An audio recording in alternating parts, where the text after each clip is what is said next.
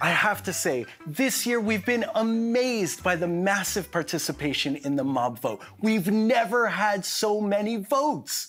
Your passion and energy inspire us to keep building.